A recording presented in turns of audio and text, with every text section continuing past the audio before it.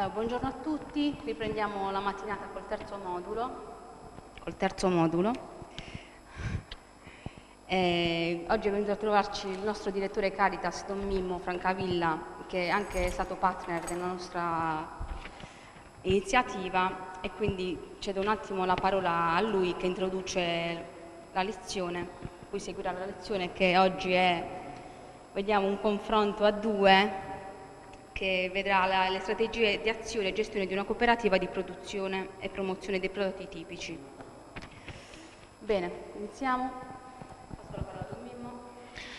Buongiorno a tutti, grazie Rossa, un breve saluto da parte mia, ci tenevo a essere presente in uno di questi due giorni, eh, se non altro per evidenziare e sottolineare alcuni elementi. Il primo è che come Chiesa diocesana in questo biennio stiamo riflettendo sul lavoro, sulla dimensione del lavoro, sulla dignità del lavoro e questo attraverso un processo che sta coinvolgendo tutte quante le componenti eh, della Chiesa. Però non dobbiamo dimenticare che non si tratta di una novità di questo programma pastorale, la famiglia tra lavoro e festa, ma è un qualcosa che viene da molto più lontano, proprio dalla presenza del progetto Policoro nella nostra diocesi e poi di uno dei gesti concreti più grandi che abbiamo avuto, la nascita del progetto Barnaba.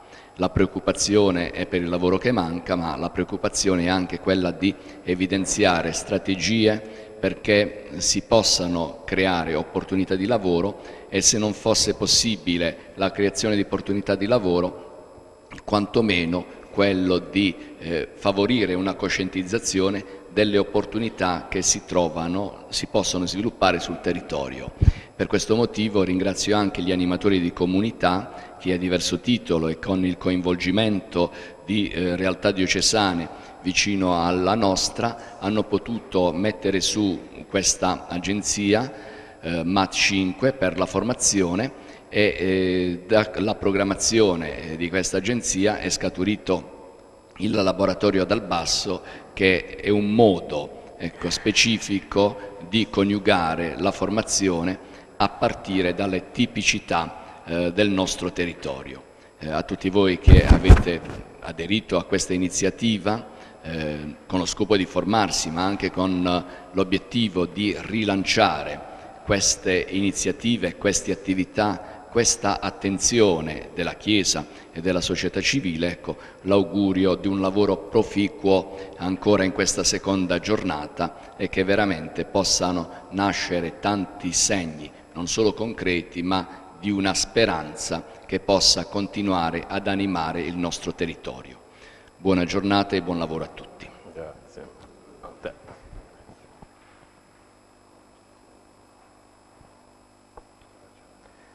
Ok, comincio io. Ci siamo tutti?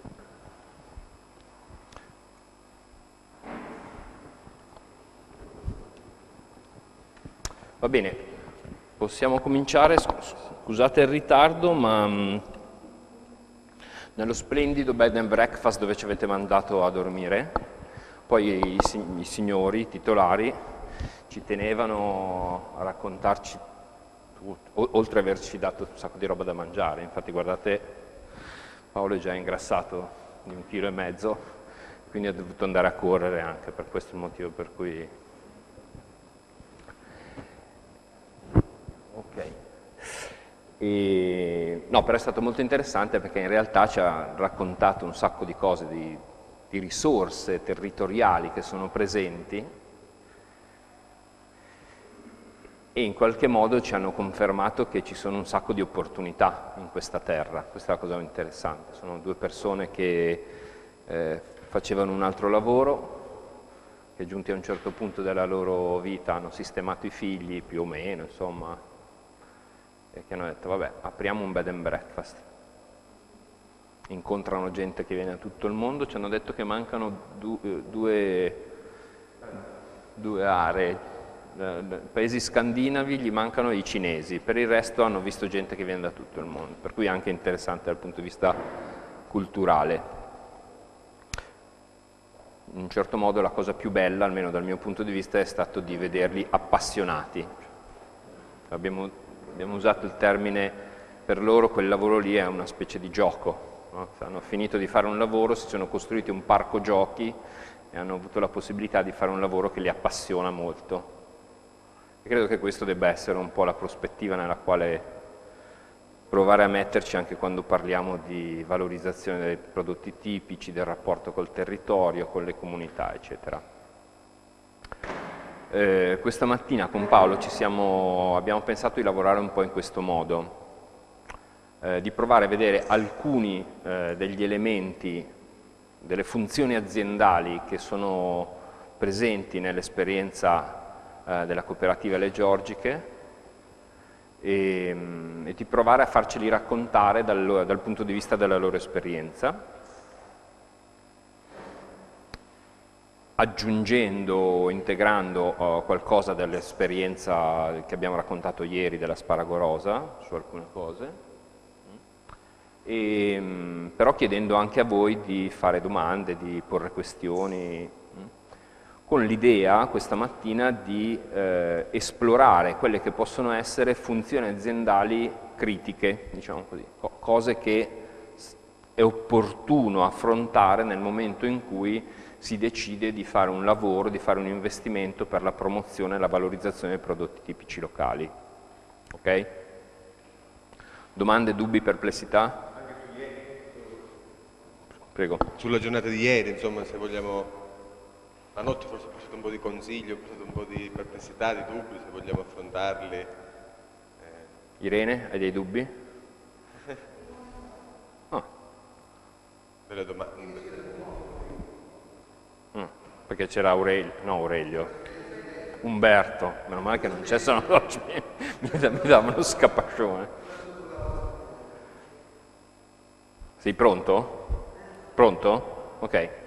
Allora, eh, brevissima seconda introduzione, ieri avete visto parlando dell'asparago rosa, detto, cosa fa la cooperativa degli asparagi rosa? Fa due cose fondamentalmente, comunicazione e commercializzazione.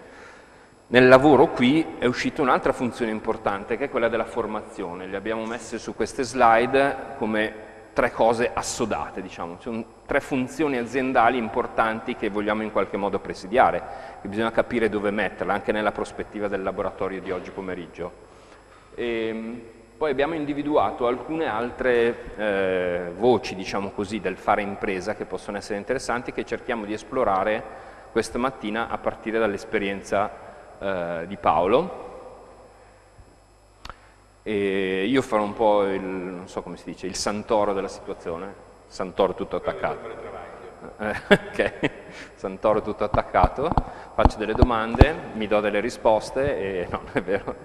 E quindi chiedo a Paolo. Per, per esempio, il primo tema è questo. No? Noi siamo in un contesto nel quale eh, come dire, siamo arrivati qua con due esperienze cooperative, cooperativa degli asparagicoltori, la cooperativa Le Giorgiche, e però già oggi, mentre ne chiacchieravamo un po' in macchina, vedevamo che il tema della cooperativa del cooperare, della cooperazione, non è così scontato. Un conto è dire, avere una forma giuridica, un conto è cooperare, due robe diverse. E, e, quindi abbiamo detto, ma cominciamo a parlare delle forme giuridiche, fa, fa quali sono le forme giuridiche eh, e quali sono i pregi e i difetti delle forme giuridiche che abbiamo sperimentato noi eh, nella nostra esperienza sul tema valorizzazione dei prodotti tipici, locali, eccetera, eccetera. Paolo, vuoi cominciare a dire qualcosa tu su questo tema?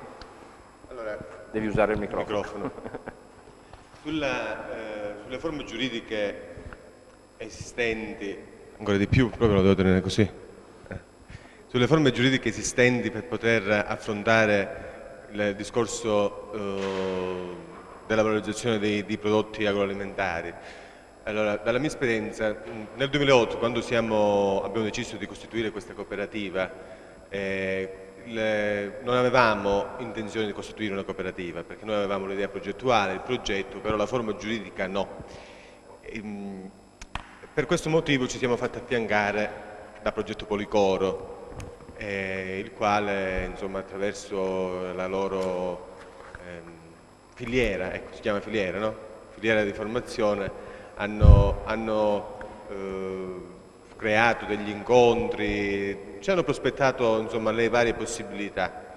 E abbiamo deciso di diventare, di costituirci come cooperativa agricola e non cooperativa sociale, eh, nonostante eravamo tutti giovani svantaggiati perché eravamo tutti neolaureati o laureandi eh, o disoccupati, quindi la, eh, i requisiti di svantaggio li avevamo, eh, per due motivi. Uno perché non ci piace essere svantaggiati come concetto perché fondamentalmente uscivamo dal mondo del lavoro, dal mondo della scuola, della, de, della formazione, quindi era ovvio che eravamo in cerca di prima occupazione. Due, perché la forma giuridica cooperativa nasce da, questo, da, questo, motivo, perché i soci cooperatori che si erano messi insieme, intorno, i soci, gli ideatori di questo progetto che si erano messi insieme per poter realizzare, per poter creare le strategie di realizzazione di, del, del, del progetto, erano, eravamo legati, siamo legati da un percorso di formazione eh, precedentemente fatto eh, che aveva eh, consolidati legami al di fuori dell'aspetto eh, lavorativo, al di fuori dell'aspetto eh, del business, al di fuori dell'aspetto della commercializzazione, al di fuori dell'aspetto della comunicazione per la, la vendita dei prodotti che avevamo in mente di fare e al di fuori anche della produzione dei, delle, delle, dei, nostri, dei nostri, prodotti.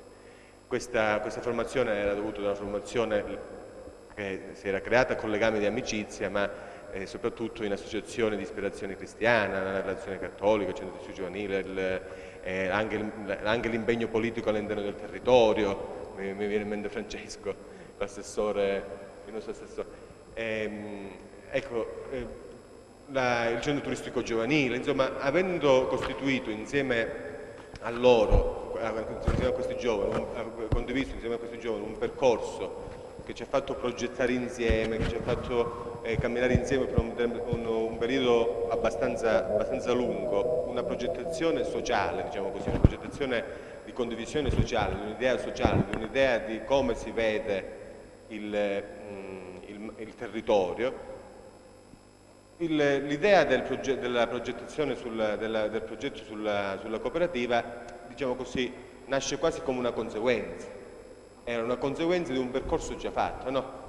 Cioè, hai fatto già un percorso di formazione, di unità di intenti, di condivisione di, di una visione, di condivisione di un progetto, di una... e abbiamo costituito quindi la cooperativa. Ma solo per questo motivo, per il fatto che eravamo sicuri, ognuno di noi era sicuro che la ognuno, che i singoli riuscivano a cooperare e a condividere il processo anche di, eh, di lavoro, di produzione, di commercializzazione, di formazione, soprattutto quando è legato al business, no? cioè quando è legato, legato alla, alla, capacità di creare reddito per poter pagare gli stipendi, per poter pagare le, eh, le spese, insomma quello che una cooperativa deve fare, perché una cooperativa non ha scopo di lucro, però deve recuperare la redditività idonea per poter pagare gli stipendi, per poter pagare eh, le spese che si affrontano. No?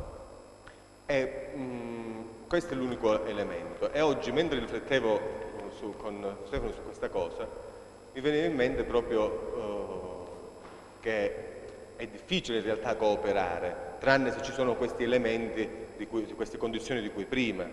E, e credo che una delle strategie più la prima strategia che bisognerebbe attuare per scegliere che tipo di forma giuridica dare alla, alla nascente eh, idea eh, qui a Minervino, credo che ci sia bisogno di un percorso di formazione molto eh, profondo, ecco. bisogna formarsi a, a, a scegliere di cooperare, perché, questo è il mio punto di vista, non siamo un popolo atto a saper cooperare, a saper metterci insieme, a condividere le, dal mio punto di vista è una questione storica-culturale, no?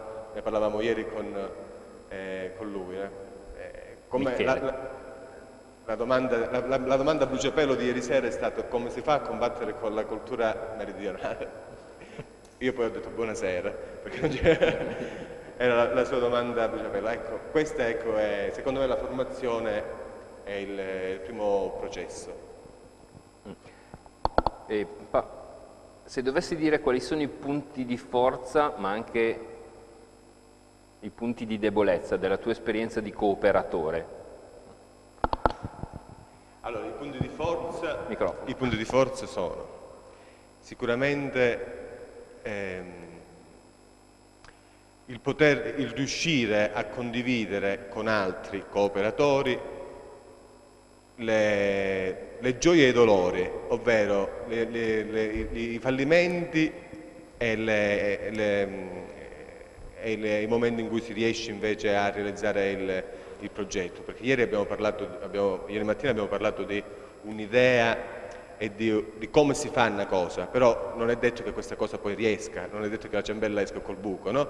E quindi, o non tutte le ciambelle escono col buco e quindi non tutte le volte riusciamo a realizzare il nostro progetto, no? E quindi si va incontro a un fallimento. E quando si va incontro a un fallimento, una cosa è fallire da soli, una cosa è fallire insieme, anche perché l'uscita la, la, la fuoriuscita da questo, da questo, fallimento, se è condivisa con altri cooperatori, allo stesso modo, allo stesso modo eh, è come dividere, dico spesso, è come se fosse anche i problemi economici o finanziari, l'accesso a credito di cui parliamo dopo, eh, è come se fossero dei, un sacco pieno di pietre che tu porti a casa la sera sulle spalle e quindi hai il pensiero di di, di, di, risolvere questo problema della liquidità, dell'accesso al credito oppure di un progetto che non va per come andare, doveva andare e questo è come se questo sacco lo dividessi con tutti i cooperatori, no? Io, cooperatori... ti, su questo tema ti faccio un'altra domanda. Eh, nella tua esperienza, quando tornate a casa, ciascuno di voi soci, il sacco di pietre che avete sulle spalle, ma è, delle, è dello stesso peso per tutti? Ah, no non può essere dello stesso peso per tutti perché poi eh, quando torniamo a casa è vero, anche se poi eh, spesso si condivide anche questo, però il, non è dello stesso peso per tutti perché poi è anche una questione caratteriale, no? una questione mh, mm, anche di formazione. Eh, io dico che qualsiasi cooperatore, agricolo, sociale, industriale, edile, qualsiasi sia la forma di cooperativa eh, sociale, comunque è un imprenditore e chi imprende eh, ha, deve avere una capacità a poterlo fare. Eh, e quindi è normale che non tutti hanno questa vocazione o lo hanno al massimo questa vocazione a poter scegliere di fare impresa. Eh, quindi è normale che poi ognuno reagisce a questo peso in modo diverso eh, e quindi ritrova le soluzioni a questo peso in modo diverso, però a volte alla, allo stesso modo nella, nella parte positiva, quando c'è un successo, quando c'è un successo eh, la, la, la, spinta per poter continuare o per poter migliorare o innovare eh, la, la, strategia, eh, anche se è condivisa, è ovvio che chi ha questa, questa forma caratteriale un po' più imprenditoriale riesce ad avere una spinta maggiore. Ecco. Eh, io dico sempre, c'è chi è abituato ad alzarsi la mattina e a fare quello che ha pensato e c'è chi è abituato a fare la mattina ciò che gli dicono di fare.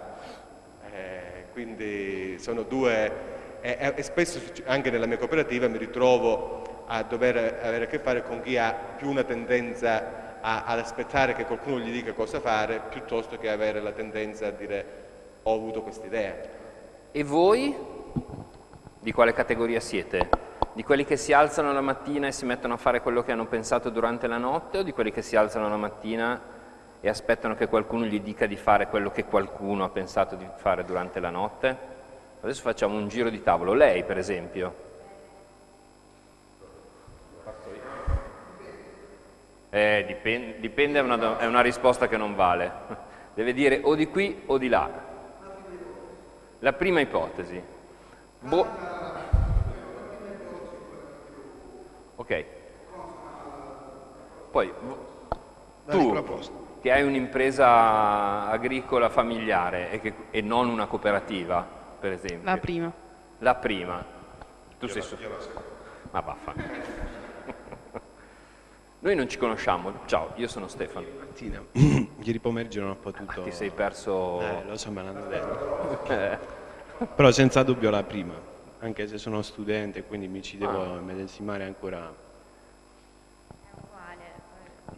anch'io, cioè tendenzialmente l'ideale è la prima, però poi con gli imprevisti che capitano durante la giornata, cioè la bravura è poi è saper fronteggiare gli imprevisti e rimanere... Nunzio.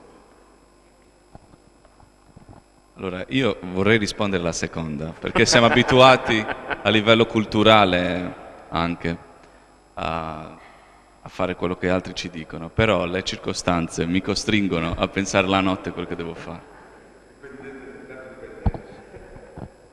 Maria. Ahimè la prima, però... Io ci penso non solo la notte prima di addormentarmi, pure la mattina appena sveglia, ho l'elenco pronto che mi aspetta lì e, e, faccio per me e per gli altri. Michè? Sì, la prima alla fine. Rosa? Io adesso faccio quello che penso la notte, come stavamo dicendo ieri, le idee... Beh, però posso dire una cosa, probabilmente non è un caso che in questo gruppo prevalga la prima invece che la seconda. Sai che non puoi parlare senza, micro, non puoi parlare senza microfono. Quindi le cose che dici non esistono senza microfono. Diamogli il microfono, Dipende sempre dal tipo di attività che l'imprenditore svolge o che dovrà svolgere o che intende svolgere. Non, è, non si può fare un discorso generalizzato per tutti i tipi di attività lavorative. Un po' quello. Un A mio avviso, eh, poi sì. ognuno può pensarla come un po' secondo me c'è un'altra questione in ballo, nelle parole che ci ha raccontato Paolo, c'è una questione fondamentale. Quando si fa un'impresa, quando si sceglie la forma dell'impresa, c'è sempre in ballo una questione di leadership. Ora, a parole siamo tutti leader, io faccio quello che penso di notte, poi nei fatti, siccome non basto da solo spesso, come minimo ho bisogno dei collaboratori, come minimo. Per cui di generali senza truppa c'è pieno così in questo paese. No? Però eh, tu, qualcuno deve andare a lavorare nei campi se vogliamo fare la valorizzazione dei, dei, dei, dei prodotti tipici locali. Non possiamo mica fare tutti i fighi. Allora la questione della leadership nella mia esperienza è molto importante, so, io parlo dell'esperienza della nostra cooperativa di asparagicoltori per esempio. Da noi una cosa che ha funzionato è stato sicuramente il fatto di avere leader del processo degli amministratori locali, cioè il fatto che il sindaco e il vice sindaco il vice sindaco è stato il primo presidente della cooperativa di asparagicoltori. Il sindaco è stato uno che ha inventato questa visione di valorizzazione. Perché dico questo? Perché la leadership è importante perché riesce a influenzare quelli che stanno intorno, un, ad attirarli dentro a un processo, fare in modo che il processo abbia un seguito. Allora, questa roba qua è assolutamente fondamentale e non sempre tutti siamo pronti, come dire, a esercitare la nostra leadership nei confronti degli altri. Nel senso che noi, per noi stessi, siamo quelli del caso 1. Mi alzo la mattina e voglio mettermi a fare quello che ho pensato durante la notte.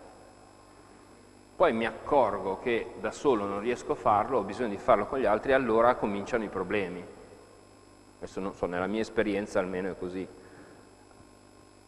Allora avere qualcuno che è capace di fare in modo che, per usare le parole di Paolo, si condividano delle visioni, delle idee, che si facciano durante le notti, si facciano dei sogni comuni, in modo che alla mattina ci si trova e dice, oh, ma che bello, abbiamo sognato tutti la stessa cosa, vogliamo fare quello che abbiamo sognato di notte? Sì, benissimo, per fortuna più o meno è la stessa cosa.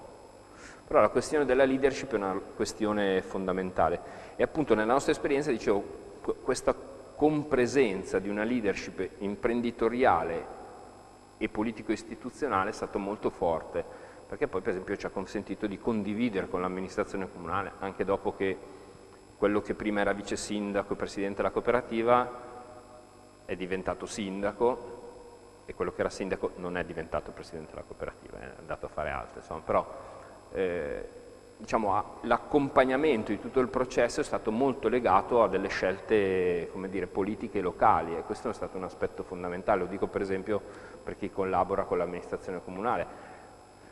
Pensare di fare la valorizzazione delle tipicità territoriali senza una forte alleanza con l'ente locale diventa molto difficile a prescindere dal colore, eh, non, non, sto parlando se uno è di destra, di sinistra, civico, incivile, eccetera, non, non mi importa il colore. Quello che è certo è che per il ruolo che le istituzioni locali hanno nel governo del territorio è un elemento fondamentale che ci sia un'alleanza tra chi decide di investire sulla valorizzazione delle tipicità e chi governa il territorio. Questo sicuramente è un aspetto importante. Da questo punto di vista un'altra cosa che forse possiamo dire sulle forme giuridiche è la distinzione tra profit e no profit. Eh, io faccio il cooperatore per cui qualcuno si aspetterà che faccia un'esaltazione del no profit. In realtà, siccome vengo dal profit, penso sempre a una cosa, che tutte le persone che onestamente lavorano e che pagano gli stipendi e che sono leali nei confronti dei loro collaboratori sono persone che rispettabilissime e poi decidono di essere profit, non profit, come dire, può essere una scelta etica, culturale di ciascuno di loro indifferentemente, però un imprenditore che per il proprio profitto decide di rischiare, di investire e che in questo rischio, come dire, riconosce la dignità delle persone con cui collabora, hm, secondo me fa un lavoro assolutamente nobile e che va sostenuto.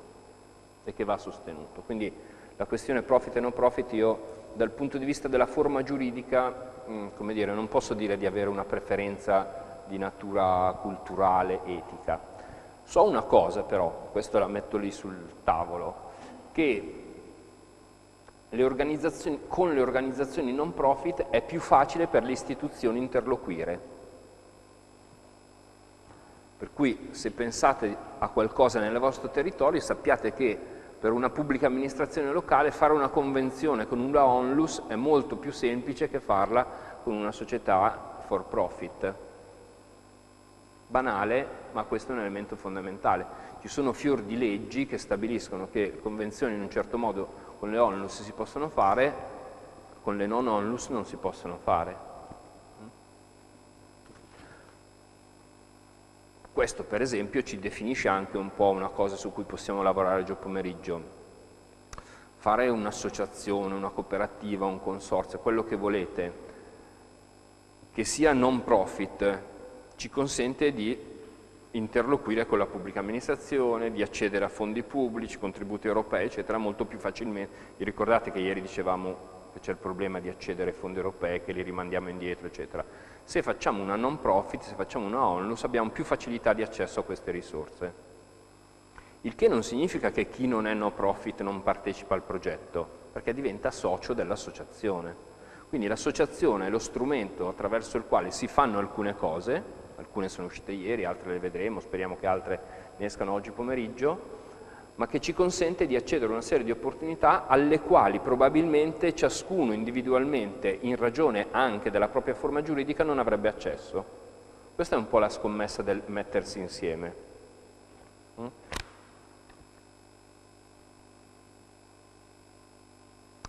Ehm, dico un'altra cosa anche riallacciando, poi Paolo ti, ti faccio un'altra domanda. Eh, un altro elemento secondo me importante della forma giuridica è qual è il livello di coerenza tra la forma giuridica e, eh, non so come chiamarla, la comunitarietà del tema valorizzazione di un prodotto tipico locale. Ora, quando parliamo di un prodotto tipico locale, abbiamo visto ieri, è anche una questione di una comunità che si riconosce in un prodotto, in una storia, in una narrazione, eccetera, eccetera. Naturalmente, eh, come dire, la forma giuridica più è collettiva e più si sovrappone alla comunità. E quindi c'è una coerenza di fondo. È più semplice parlare di valorizzazione di un prodotto tipico locale comunitario quando dall'altra parte lo strumento con cui faccio questa cosa è in qualche modo espressione della comunità. Da questo punto di vista, per esempio, le Proloco, che sono un'associazione di persone, eh, sono uno strumento molto valido, perché sono associazioni di cittadini, di liberi cittadini che aderiscono con lo scopo di promuovere il paese, la comunità, eccetera, eccetera. La stessa cosa fatta da una impresa individuale, da un'impresa for profit, non ha lo stesso potere in termini di partecipazione della, attiva della comunità a questo processo. Non so se è chiaro quello che sto dicendo. Per cui, ripeto, non ne faccio una questione di valore etico, ne faccio una questione di maggiori opportunità o minori opportunità e di maggior coerenza o minor coerenza. Non tanto per dire chi ha una ditta for profit individuale la chiuda e faccia una cooperativa, quanto per dire proviamo a cercare quelle soluzioni che consentono di dare il giusto valore tanto alle imprese individuali, alle imprese familiari, alle for profit, eccetera, quanto alle altre esperienze, in maniera da accedere alle opportunità, da una parte, ma anche di presentarsi come una forma giuridica coerente con un disegno comunitario. L'esperienza nostra della cooperativa degli asparagicoltori, la cooperativa è una onlus, ma i soci conferitori sono, sono imprese agricole for profit tranquillamente, tutti tranne uno. Per cui, non so se è chiaro, questa, questa questione è una questione da, da, capire bene dove collocarla. Guardo, guardo voi perché voi avete, avendo un'azienda di famiglia siete tra for profit, poi dico for profit ma chi riesce a fare profitto con l'agricoltura devo ancora conoscerlo, ma questo, ma questo, è un altro discorso. Dico for profit per parlare della forma giuridica naturalmente, no? non tanto del fatto che ci si arricchisca facendo, facendo gli agricoltori, anzi. Va bene. Eh, domande, dubbi, perplessità? Rosa? Giovanni? Michele? Michele? Vincenzo? Vincenzo? Un salto indietro rispetto a quello che ci stiamo dicendo, perché volevo chiedere al dottor Sessa, eh, non lo so se è stato detto ieri, le, le georgiche come ehm, cooperativa, come si strutturano in, in, qualità di numero membri e eh, cosa commercializzano? Qual è, qual è, il mercato allora, di riferimento? Insomma, avere un quadro... Andiamo avanti, eh. stiamo andando avanti. Allora, non so se dopo no, no, prima. Vabbè, ma è meglio così. La, la mia cooperativa è una cooperativa di produzione e lavoro, innanzitutto. Una, una cooperativa di produzione e lavoro agricolo. Eh, fondamentalmente nasce eh, con l'idea di di, di, di produrre e commercializzare e valorizzare i prodotti che produce. E nel percorso che poi invece ha intrapreso mh, si è trovata a, a produrre comunque ma a incentrare la sua eh, attività soprattutto nella valorizzazione e nella commercializzazione di alcuni prodotti agricoli di altri soci conferitori che, eh, che conferiscono il prodotto all'interno della cooperativa. Quindi nasce con una base sociale di sei cooperatori che hanno l'obiettivo di lavorare all'interno di essa. Poi si sviluppa con l'ingresso di soci converitori che conferiscono il prodotto a soltanto il fine di poter commercializzare il prodotto stesso. Quindi diventa una cooperativa mista fondamentalmente. La, la, la, il canale commerciale è fondamentalmente quello di queste due botteghe che abbiamo nel, nelle due città più grandi della provincia, eh, che sono tra l'altro limitrofe, eh, una di 70.000 abitanti e una di 50.000 abitanti, abbiamo queste due botteghe all'interno della quale si commercializzano questi prodotti della cooperativa, e, cioè quelli che proprio la, cooperativa produce e quelli dei soci competitori. E, e in questo modo ecco, questi canali di commercializzazione, che ovviamente non basta, eh, per tanti motivi che non sto qui a spiegarvi, eh, ma soprattutto legati alla crisi economica, alla, a, al prezzo del, valore, del prodotto tipico, no? che è sempre più elevato rispetto alla, alla, alla grande distribuzione a volte, ehm, al tipo di prodotto che si commercializza, perché eh, valorizzare un prodotto eh, significa anche fa fare delle scelte. Fare delle scelte significa vendere la cima di rape di Minervino e non la cima di rape. Quindi la cima di rape Menevino costerà un euro, la cima di rape costerà 90 centesimi e quindi il consumatore deve fare una scelta tra 90 e un euro. Qualità o non qualità. Ah, e oggi si, fa conti, si, fanno i conti con, la, con le entrate, eh, delle, con, con, il reddito delle persone, ecco perché non basta. E allora abbiamo anche attivato altri canali di commercializzazione che sono l'e-commerce, un e-commerce che ci porta la, a poter... In, a poter valorizzare i nostri prodotti e commercializzare i nostri prodotti in tutta Europa. Abbiamo fatto delle, dei, delle convenzioni con dei trasportatori che eh, imballano il prodotto direttamente e lo spediscono direttamente a chi, a chi ce lo ordina.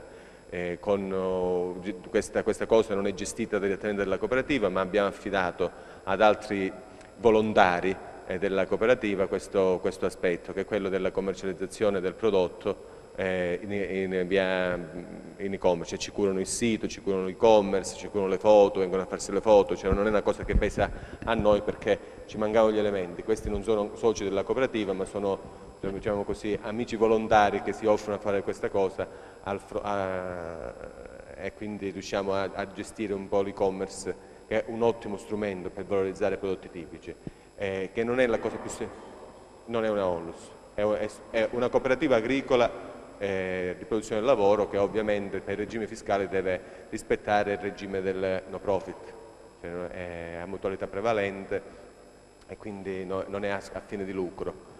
Poi, ma come diceva lui, interessa poco perché in agricoltura devo conoscerlo anch'io chi, chi fa reddito, o meglio qualcuno lo conosco ma in realtà eh, è un latifondista che produce migliaia e migliaia di quintale di prodotto e allora lì la marginalità potrebbe aumentare. Però, ehm, la, il, nel, nel, frattempo ci siamo specializzati nella, com, nella, valorizzazione dei prodotti agroalimentari, sempre di più, nella, nella, nel marketing dei prodotti agroalimentari. Specializzati non significa, non siamo ancora a livelli eccellenti, però eh, stiamo focalizzando la nostra attenzione sulla valorizzazione di particolari prodotti agroalimentari soprattutto ingendrando il discorso sui produttori che hanno la, una mentalità mh, commerciale innovativa. Il nostro motto è innoviamo, ehm, innoviamo, la tradizione fondamentalmente, quindi prodotti tipici locali che possono essere innovati. Eh, tant'è vero che stiamo eh, avviando un, un, processo che è già avviato di eh, di, di commercializzare, di valorizzare i prodotti di alcune aziende, soprattutto di aziende agricole giovani, che hanno avuto delle buone idee e noi cerchiamo di affiancarle per, l'aspetto commerciale. Eh, abbiamo in cooperativa alcuni che sono laureati in, in, economia o in economia aziendale che hanno queste capacità, tant'è vero che da poco, anzi in realtà ufficialmente dalla settimana prossima, ma in realtà abbiamo iniziato già da giugno, commercializziamo uno dei prodotti più innovativi che la Calabria sta, ehm, eh, sta facendo uscire da un giovane agricoltore eh, che ha, una, diciamo così, ha avuto eh, una, un'idea regionale. Lui è originario, lui è originario, ah, è originario di, di, di Locri, sapete dov'è? Zona di Bregandini eh, originario di Locria, però vive da una ventina d'anni a Cosenza per motivi di lavoro i genitori e hanno questi grandissimi appezzamenti di terreno, i famosi giardini, i giardini nella, nella Locride sarebbero gli agrumeti, quindi hanno arance, bergamotto, quella della zona bergamotto, limoni, eh, esatto, aranci, tipo aranci, non è, eh, eh, ha fatto una bevanda ehm, ha avuto questa idea, quindi in, una, in un, ex capanno, un, ex pastificio dismesso della città ha creato questo piccolo laboratorio e con i concentrati di, questi, di queste spremute, di questi suoi prodotti, cre ha creato un, un, prodotto innovativo, ovvero dei succhi di frutta 100% calabresi, eh, quindi con le arance calabresi, anche perché noi uscivamo fuori, anzi siamo ancora nel percorso di, eh, di, dei fatti di Rosarno, alla cronaca nazionale sono emersi eh, la, lo sfruttamento degli immigrati che raccoglievano le arance a 4 centesimi, a 3 centesimi, poi dormivano nei capannoni, poi la ribellione dei caporali, insomma tutto quello. E avevamo fatto una battaglia proprio per non lasciare solo Rosarno, che il problema non è de, de, degli agricoltori che pagano poco gli, gli operai, Gli agricoltori pagano poco l'operaio perché la Coca-Cola gli paga 15 centesimi la- l'arancia e la manodopera costa soltanto 12. Poi deve mettere i trattamenti, deve mettere la... eh, non- non- era, era a perdere. Ecco perché. Allora una campagna di sensibilizzazione, tant'è che poi siamo riusciti a fare una legge nazionale che è quella di aumentare i succhi di arancia dal 2015, lo vedrete anche sulla Fando, sulla San non più il 12%, ma siamo arrivati al 20%. Questo 8% porta a chi produce arance miliardi, perché significa mettere all'interno dei succhi d'arancia, poi lascia stare che la Fanda andrà a prendere le- le- i succhi non più in Calabria, ma la andrà a prendere i concentrati in Brasile, eh, in Brasile. però è, è- è una battaglia che abbiamo vinto e quindi su quest'onda abbiamo questo, questo giovane ha creato questi prodotti, eh, facendo dei succhi, arance, arance mandarino, mandarino, limone, bergamotto, ace, eh, li produce lui con questi suoi succhi, li, li fa senza conservanti e senza, e senza mm, eccipienti. Eh, perché? Perché l'innovazione dove sta? L'innovazione sta che un succo di frutta è uguale a tantissimi altri succhi di frutta. Lasciate- lasciamo stare la narrazione che adesso ho fatto a L'Oreale. Però lui ha pensato, se io li, li li produco in bottiglia, uscirò, visto il costo della bottiglia, uscirò fuori dalla- al, al commercio con lo stesso prezzo di cui esce Sandal, Yoga, no? altri commercianti. Allora lui ha inventato il bagging box, ovvero un box da 3 litri all'interno della quale c'è una busta sottovuoto con uno spillatore. E questo permette al prodotto, una volta, perché il problema del bar, lui ha fatto prima un'indagine nei mercati, il problema del bar qual era? Perché usate la bottiglietta e non il litro?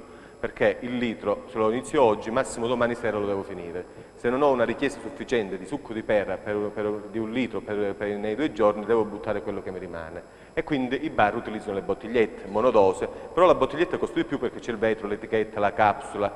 E allora lui cosa ha, ha pensato? Faccio qualcosa di grande che, di che duri quattro mesi anche una volta cominciato, uno spillatore sottovuoto. Mano a mano che il prodotto esce, la sacca si, si restringe e il prodotto è sempre fresco. Eh, da questa idea ha, ha fatto il laboratorio, creato, è andato in giro per l'Italia a comprare i macchinari, i pastorizzatori, eccetera, eccetera, e adesso questo prodotto, grazie alla nostra cooperativa, perché poi noi l'abbiamo affiancato nella, nella fase successiva, ovvero la, la- la commercializzazione, la valorizzazione di questo prodotto all'interno del, abbiamo iniziato dai bar e adesso andiamo nel- nel- negli alberghi e nel- negli hotel, di commercializzazione di questo prodotto, che sta avendo un successo già in tutta la, la Calabria e già eh, abbiamo iniziato a giugno a girare, il prodotto è uscito a fine luglio, a fine luglio già tutti i bar della Calabria tengono questo prodotto, abbiamo già chiuso delle, delle commesse con il Lazio e il Piemonte, abbiamo trovato due agganci commerciali lì eh, e stiamo cercando in tutte le regioni d'Italia degli agenti che facciano questo lavoro fondamentalmente, cioè andare a proporre questo prodotto, quindi una cosa di 4-3 mesi fa. Ecco, stiamo- ci siamo specializzati nella valorizzazione dei prodotti eh, agroalimentari e questo è un servizio che fa la cooperativa che alcuni soci, sfruttando loro- le loro capacità eh, specifiche, abbiamo messo. Eh, eh, ma non, è- non era nel progetto idea- eh, iniziale, ma è l'esperienza che ci ha portato a, anche perché come qui siamo in un Eldorado, no? in, una- in un territorio dove eh, eh, se, se vai in, una- in alcune zone d'Italia, ma soprattutto all'estero, sembra che tutto già è stato fatto.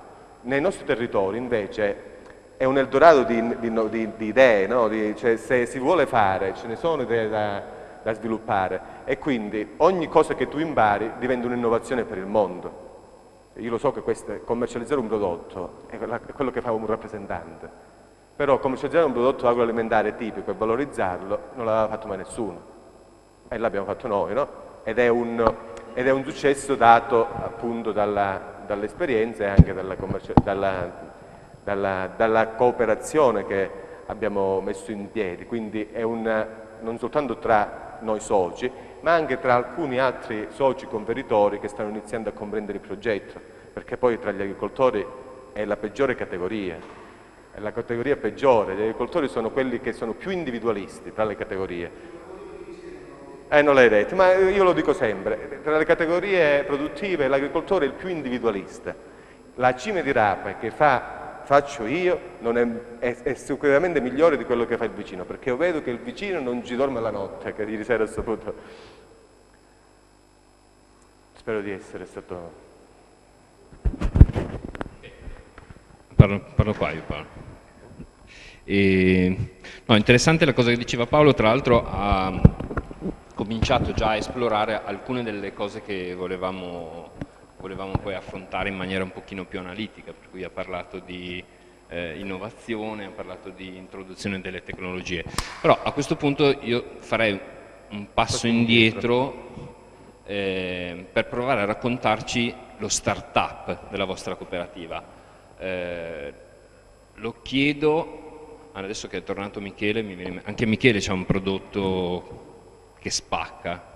Abbiamo cioè, visto stamattina a tavola. Esatto, però adesso non lo dice perché insomma vuole brevettare.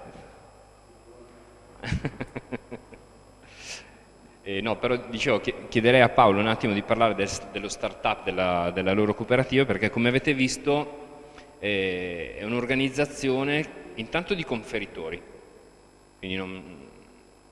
e poi che si è trovata a svolgere appunto questa funzione di consulenza allo sviluppo di altri che in un certo senso eh, dire, sono le caratteristiche che può avere un'organizzazione che si occupi di sostenere i processi di valorizzazione dei prodotti tipici locali, esattamente questo. Loro lo fanno con un piglio più imprenditoriale, altri lo possono fare con un piglio più culturale, ma nella sostanza stiamo parlando di funzioni molto, molto simili. E, ecco, anche questa cosa è interessante, nella nostra esperienza della sparagorosa stiamo parlando di una roba molto eh, come dire, diretta da una volontà politica, nell'esperienza di Paolo avete visto una roba molto diretta invece da una volontà imprenditoriale, ma con finalità simili. Allora anche qua è interessante per capire eh, l'esperienza che vorreste costruire a Minervino o che vorreste costruire a Brindisi, eccetera, dove la collocate? Perché poi dipende da chi sono i partner e non, dei, i partner reali, cioè quelli che ci investono come minimo del tempo, non, perché i soldi bisogna anche averli, ma il tempo più o meno, quello in saccoccia ce l'abbiamo tutti. Allora, lo startup della cooperativa. Allora, come dicevo, la cooperativa nasce prima come idea soltanto di produzione e di lavoro e quindi la startup iniziale, quella del 2008, è stato uno startup che ha coinvolto soprattutto attori oltre questi giovani che poi sono diventati soci cooperatori, ma in realtà il processo di condivisione dell'idea è, è, stato molto più ampio. È stato molto più ampio. Poi ovviamente chi ha deciso di investire all'interno di questo progetto rimasti sei, siamo rimasti in sei. E quindi eh, lo startup avviene eh, in un territorio ben definito che è un territorio periurbano eh, a pochi chilometri dalla, dalla città, di territori eh, poco eh, cioè una volta dedita all'agricoltura, un'agricoltura ovviamente polverizzata, eh, che non, tipico, non ha un prodotto tipico d'eccellenza come potrebbe essere la rape, ma ha dei prodotti distinguibili, io li chiamo, prodotti distinguibili territoriali, ecco, per, essere, un, per creare una definizione, dei prodotti distinguibili territoriali. E, ehm, e quindi la valorizzazione di questi prodotti tipici territoriali era nostro, la nostra idea abbiamo coinvolto questa, nello startup tutti quelli che si chiamano gli stakeholders, no? tutti, ciò, tutti, coloro che ci stavano già intorno, che eh, potevano aiutarci, soprattutto visto che eravamo, eh, ora un po' di meno, molto più giovani, eravamo molto più giovani, che potevano starci a fianco, soprattutto nella, nella gestione della, dell'uscita pubblica, no? perché nel momento in cui poi emergi all'interno di un territorio tu sei, diventi una personalità giuridica, no? nel vero senso della parola, cioè sei un'impresa, sei un'entità, eh, essendo giovani cioè bisognava che cercavamo qualcuno, qualcosa che ci affiancasse anche dal punto di vista morale. Ecco. Quindi il nostro, il nostro startup è stato uno startup di coinvolgimento di un territorio, eh, coinvolgendo il sindaco, come diceva lui, no? abbiamo coinvolto l'amministrazione eh, che ci è stata a fianco almeno nei primi momenti dal punto di vista ehm, proprio ecco, di, di, entusiasmo, anche, di, anche non, non, dal punto di vista economico perché c'entrava poco, però nella ricerca anche di terreni demaniali dove, dove poter avviare le, le attività di produzione, eccetera. Poi ovviamente tutti gli ambienti in cui noi eravamo cresciuti, quindi l'ambiente parrocchiale, il parroco, l'ambiente diocesano, il vescovo, il policoro, eh, la, la, pastorale del lavoro, la pastorale, del, mm, la pastorale giovanile, eh, insomma, un po' di fattori che, eh, di, di, di, substrato sociale che ci serviva, ci serviva, appunto per poter essere incoraggiati nel fare quella che era un'idea comunque condivisa mol da molti. Dopo di ciò la, lo start-up, eh, ecco, da, dal punto di vista invece imprenditoriale, eh, eh, avviene col convorimento da parte di questi sei cooperatori di, una, di un capitale sociale eh, che serve soprattutto ad avviare le prime attività di produzione, quindi ad avviare prime, i primi acquisti delle prime arnie per eh, la produzione del miele, ehm, per la formazione alla produzione e per l'apertura di un primo punto vendita, perché la, la, la valorizzazione e la commercializzazione era ehm, per, soprattutto per territori come i nostri, ma anche come questo, che eh, non hanno una, le aziende agricole o anche le cooperative non hanno una vastissima eh, eh, scala no? di, di, prodotti, cioè anche di, di quantità di prodotti, no? non c'è un'economia di scala fatta di ettari e ettari di frumento che po costa poco eh, coltivarlo, costa altrettanto poco eh, il, eh, venderlo eh, la marginalità è poco, però su una grande scala riesce a, a creare il reddito per uno o due agricoltori. La nostra cooperativa nasce con sei ettari di, di, di produzione, di terreni in, in, eh, sul fascicolo aziendale per intenderci, quindi bisognava creare maggior reddito da questa attività e abbiamo creato il punto vendita, anche perché la legge, della, legge quadro sull'agricoltura del 2002 eh, parlava proprio que di questo, no? l'articolo 4 dice proprio questo, cioè l'agricoltore oggi non deve soltanto coltivare, ma può valorizzare, commercializzare e quindi tutta la semplificazione che è nata, adesso aprire un punto vendita aziendale ci vogliono una giornata, rispetto ad aprire una, una, una fabbrica industriale insomma è un, un, processo molto semplice. Quindi abbiamo aperto questo, questo primo punto vendita all'interno del nostro territorio e questo ci ha dato la possibilità di farci conoscere all'interno dell'ambiente, eh, noi siamo stati sempre iscritti a Coldiretti e da lì nasce la seconda fase che è la fase di, di, di discesa, diciamo così, in, eh, nel capoluogo, eh, usciamo dal nostro territorio, del nostro piccolo paese di 3.000 abitanti, andiamo nella città, quindi chiudiamo la bottega nel piccolo paese apriamo la bottega in città, poi ne apriamo così un'altra. Eh, e questa, ecco, in questa fase di startup invece la comunicazione è diversa, qui coinvolge, qui coinvolge non soltanto un piccolo territorio, ma coinvolge un'area vasta che è quella della città dal punto di vista degli, degli stakeholders, anche le amministrazioni pubbliche della città, la Camera di Commercio, eh, organizzazioni di categorie, ma soprattutto hai alle spalle 45 eh, fornitori che eh, quindi hai un volume di prodotto molto più molto più sostanziale, no? molto, che, che, ha una forza eh, maggiore, quindi il, ricordo ancora oggi l'inaugurazione della prima bottega era una bolgia di gente intorno a, quella, a, quel punto, a, quel punto, vendita perché era all'inizio del processo che Campagna Amica aveva avviato eh, a livello nazionale, quindi c'era una forte sensibilizzazione nazionale dal punto di vista anche comunicativo, ai telegiornali, eh, erano sempre presenti sui servizi, su linee verde, le bandiere gialle, campagna amica e in città avevamo riempito la città di manifesti, di, di questa roba qua, perché comunque la vendita diretta era una vendita, la vendita diretta di prodotti agroalimentari eh, della provincia, quindi tipici, era un'innovazione straordinaria in, nel 2010 in una città come, come la nostra, no? quindi è stato un processo che non soltanto di, eh, imprenditoriale, ma un processo che ha coinvolto completamente la città, no? perché per i cittadini cioè questo qua è un orgoglio, finalmente posso andare a comprare la minestra eh, che producono in questo determinato territorio della provincia, finalmente potrò mangiare le, le vere clementine di Siberi, finalmente potrò mangiare la vera patata IGP della Sila, no, questo è quindi ecco lì lo startup è stato uno startup comunicativo molto forte eh, che ci ha,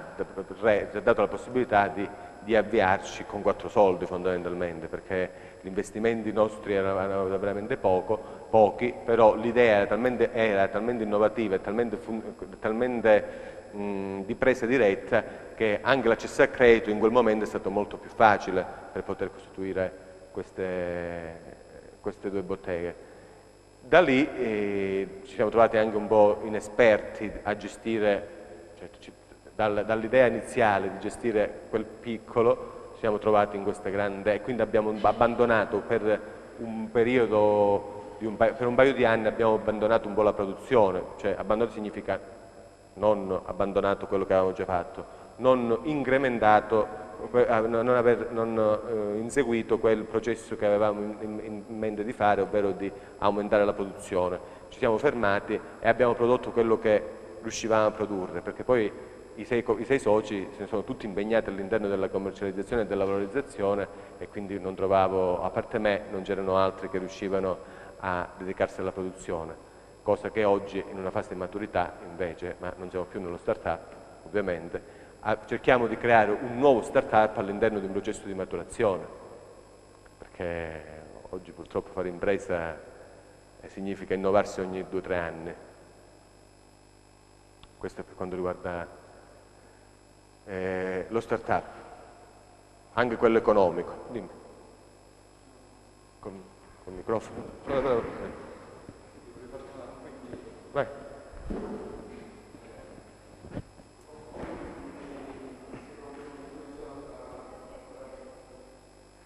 Due volte?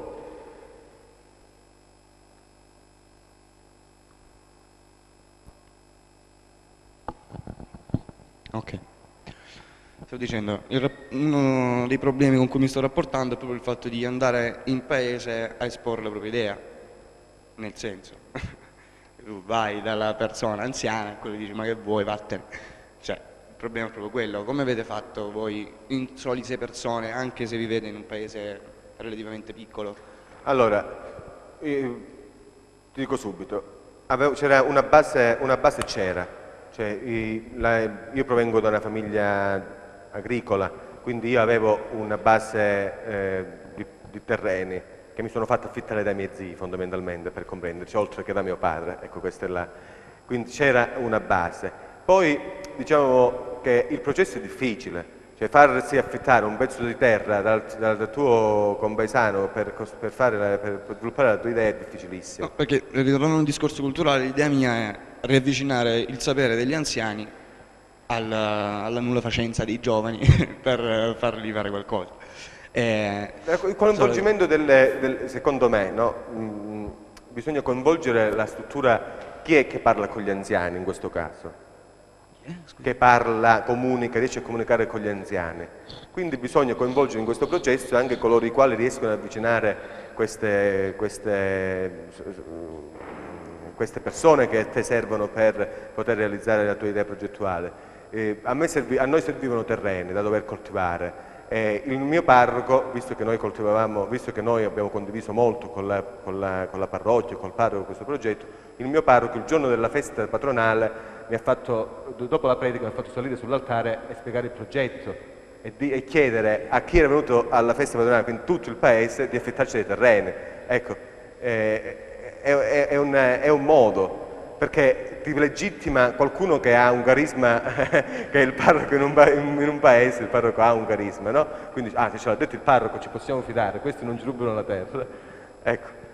Eh, questo era per dirti, bisogna affiancarsi, soprattutto in questi territori, bisogna affiancarsi o all'amministrazione all pubblica, come eh, ha detto prima Stefano, no? o alle associazioni, o ad, a qualcuno che già ha delle... Eh, lo, ma non soltanto perché io, ma non soltanto perché la mia è un'esperienza di cooperativa, ma anche se avessi fatto una SRL, cioè non, non, non, per, come la, per come vedo io, l'impresa e per, e per, come invece non la vedono per la maggior parte del, del sistema culturale, soprattutto a Meridione, l'impresa è una cosa positiva, non è una cosa negativa. ecco. Quindi, però no, eh, non è una cosa scontata quello che sto dicendo, perché noi sappiamo bene nei nostri territori che eh, chi fa impresa è visto sempre con un'ottica un po', soprattutto in quei territori dove c'è poca imprenditorialità, poca autogestione della, della, della, del, proprio, del, proprio, essere, ma si è cresciuti con la mentalità del, della dipendenza pubblico-privata che sia, no? Quindi chi fa impresa è sempre visto come quello che poi ruberà, quello che ruba, oppure quello che farà i profitti, costruirà, costruirà i villoni, avrà macch la macchina grossa e quindi oggetto di invidia di... Cioè, sono aspetti culturali che sembrano banali, ma che esistono all'interno dei territori. Non lo so perché... Non sono abbiamo- banali, eh, anzi sono proprio... Sono proprio, siamo proprio nel centro del problema.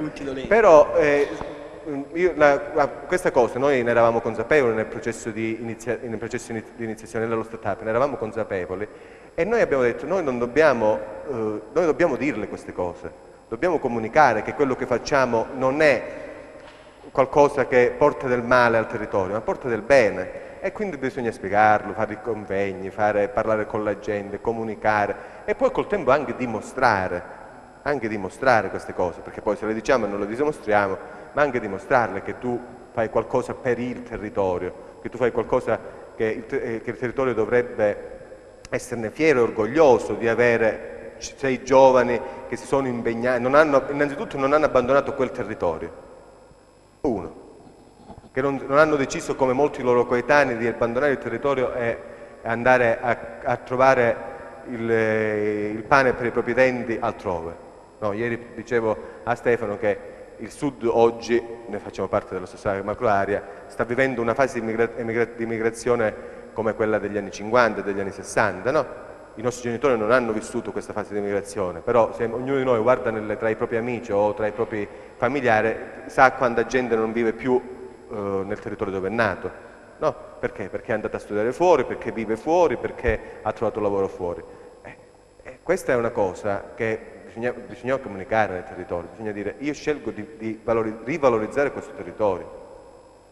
Eh, e bisogna avere la forza di affiancarsi a persone che di questo- a questo progetto ci credono come te.